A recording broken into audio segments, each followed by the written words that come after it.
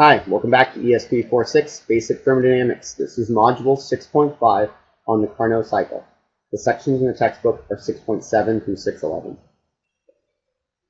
Here are the three learning outcomes for this module. At the end, you will know the steps of the Carnot cycle, you will understand the two Carnot principles, and you'll be able to quantify the Carnot efficiency for heat engines, refrigerators, and heat pumps.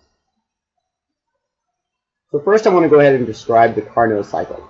This is an important cycle as we just talk about the second law of thermodynamics, and we'll realize it puts an upper bound on the efficiency of all cycles. So first I'm going to look at the Carnot cycle for a gas, and we'll have an ideal gas where we have the relationship PV equals RT. The first step of this cycle is we put energy into our working fluid. This is QH, but we keep the temperature constant at TH. And so if I look at this equation over here, if T is a constant, I realize PV have an inverse relationship. As I add this energy, the volume is increasing. So if I was to draw this step on a PV diagram, I would start here, the pressure would have to decrease as the volume increased.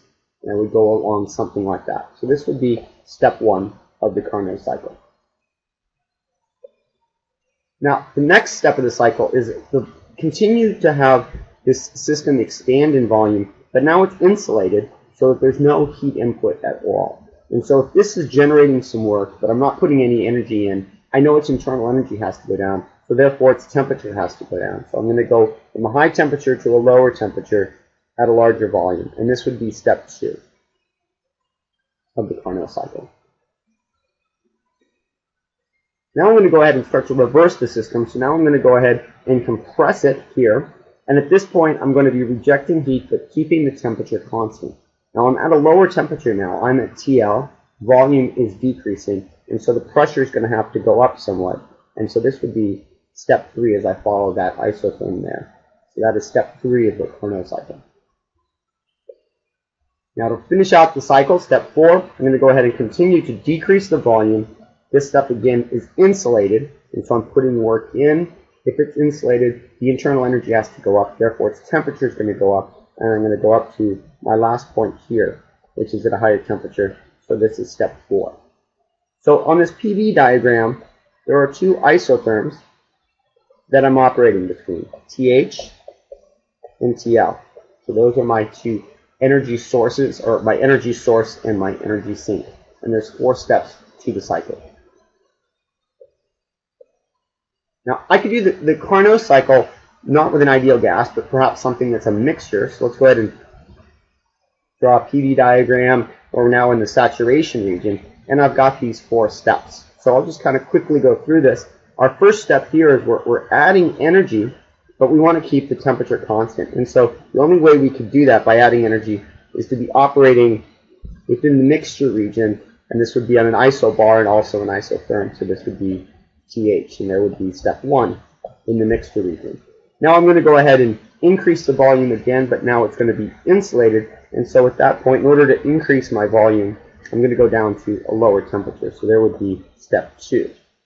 Then I'm going to go ahead and decrease the volume in step three. I need to keep the temperature constant, so I'll be following an isotherm there, which will also be at a constant pressure. And then the final step to decrease the volume, keeping the system insulated, returning to my high temperature up here. So this is T low down here. This was step three. This was step four. And I'm operating here underneath the saturation region. So the steps are a little different in the fact that these isothermal steps are also going to be isobaric. There's two Carnot principles. Let me go ahead and, and go through both of them here. The first is that the efficiency of an irreversible heat engine is always less than the efficiency of a reversible one when they're operating between the same two reservoirs. So that just simply says a, a, irreversible system, one that has friction or one that is operating very fast relative to its fluids, is going to have a lower efficiency. The second principle says the efficiency of all reversible heat engines, if they're operating between the same two reservoirs, are the same. This is, again, all reversible engines are going to have the same efficiency. It's going to be determined strictly by the temperatures that they're operating between. This diagram does a good job of, of uh, graphically representing those two principles. So these two over here on the left are the first Carnot principle that says this irreversible heat engine has to have a lower efficiency than the reversible one. So this irreversible one, you can think this is anything that has some sort of friction in it um, that's causing this irreversibilities in it, or it's occurring so fast relative to the molecules of the working fluid that we're not going to have a reversible system. The second one over here, which is just saying if I have two heat engines, they're both reversible, they've got to have the exact same efficiency, and it's determined simply by the temperatures TH and TL. So um, I want to talk about what's called a thermodynamic temperature scale that we use to classify what are the temperatures that these heat engines are operating in between. And this is an example that's given in your textbook, but I'll go ahead and go through it as well because I think it's important. So what I'm going to do is I'm going to give myself a pair of heat engines. So I'll call this heat engine A. Well, actually, let me go ahead and erase that.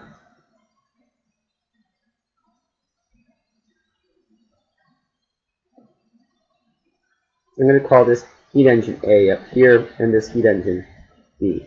And this is going to be accepting energy from a temperature T1, so I'll go ahead and call that Q1. And then there's going to be an intermediate temperature down here I'll call T2 that the second heat engine is going to operate in between. And then it's going to be dumping energy down there. This would be Q3. All the energy that comes off of heat engine 1 is going to go, er, heat engine A will go into B. And so we'll go ahead and call that Q2. Now I could also have a single heat engine operating between these two reservoirs over here, and I will go ahead and call that heat engine C. And so that will be accepting Q1, and this will be rejecting Q3. So I have a combined system of two engines or just a single engine here. Now the first Carnot principle said that the efficiency of all heat engines operating between the tem same temperature scale. So it's a function of simply TH and TL. So I know the efficiency of every engine is going to be a function of simply its two temperatures. So for example, the efficiency of heat engine A is going to be some function of T1 and T2. Right.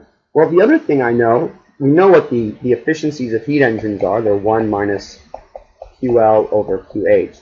So what I realize is this all also a function of, and I'll just use a different symbol G to represent this function over here, of Q1 and Q2. So the efficiency is a function of temperatures, and it's also a function of its uh, the amount of heat input that I have. Now I could write the same efficiency for efficiency of B, and heat engine B is going to be a function of T2 and T3, and the efficiency of heat engine C is going to be simply a function of T1 and T3. Now, if I was to go ahead and multiply my heat engine A and heat engine B, I would have Q1 over Q2 times Q2 over Q3. And we realize that that is Q1 over Q3. And that's this, um, right over here I have for Q, uh, heat engine C, which is Q1 over Q3. So this tells me that the ratios of the heat are somehow functions of the temperature.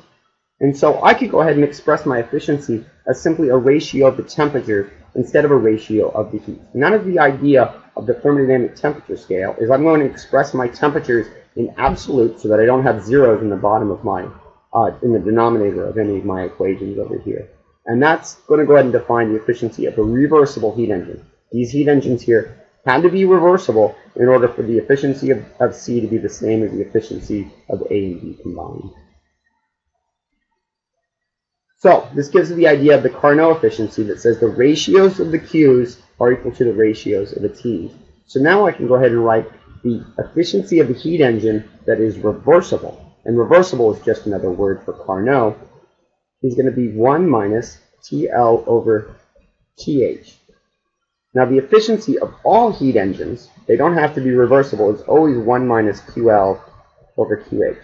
But if it's a reversible engine, no friction, I can go ahead and use that relationship there. And I can do the same thing with the coefficient of performance. So for example, if we think about the coefficient of performance was for a refrigerator, I had 1 over, and this will be, if it's a, um, a reversible one, I'm going to replace the ratios of Q's with T's, and I have 1 over, um, sorry, oops, erase that there. This will be 1 over th over tl minus 1, and the coefficient of performance of a heat pump that is reversible will be 1 over 1 minus TL over TH. So if it's Carnot, which means that it's reversible, I replace the ratios of Q's with the ratios of temperatures, and I can find out what their efficiencies are. So let's look at a practical example of this. In this example here, it says, how much power is this reversible heat engine delivering? So now I know that this heat engine here is reversible. So I can go ahead and find out its efficiency. And its efficiency is V1 minus T low over T high and I'm given the temperature. Now, one of the important things is I never want to have a zero in my denominator, so I want to use absolute temperature in these relationships. This is going to be 1 minus T low is going to be 373 Kelvin over 1273 Kelvin to go ahead and get the efficiency of this heat engine. And that is 0.707. So now if I want to know how much power it's delivering, well, we know that the work that's being delivered is going to be its efficiency times QH. So I put in my efficiency of 0.707. Here's QH, it's delivering 500 kilowatts of energy. And that's going to tell me how much work it produces, which is 353 kilowatts. And since this is reversible, this is the most energy that any heat engine could deliver operating between those two temperatures. Now, one of the things that we've realized is that energy has quality. And the reason we can think about that is imagine I have some system and it's at, say, 100 degrees Celsius.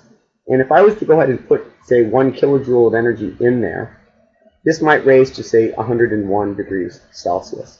And we know that the higher the temperature, the higher efficiency is of, of the heat engine that I operate in between this. This might be, end up being my high temperature source. And if it was at 101, I would have a higher efficiency recall, the efficiency is 1 minus TL over TH. So the greater TH is, the greater the efficiency is going to be. Now the next kilojoule that I put in here, maybe that's going to raise this up to 102 degrees Celsius. And I realize that that kilojoule of energy even has a higher quality because the amount of energy I put in, now this is operating at 102 instead of 101, although I only put one kilojoule of energy in each time. So each kilojoule of energy I put in increases in quality if it's at a higher temperature. So it looks like as I add energy here, I'm actually increasing the quality of my energy. However, in order to get one kilojoule of energy into this 100, when it's at 100, it might have to be at, say, 101 degrees Celsius, and it would have gotten colder. And so I moved energy from 101 to 100, I actually lost quality. So um, as we realized what's going on here is that the energy quality is continually rolling downhill.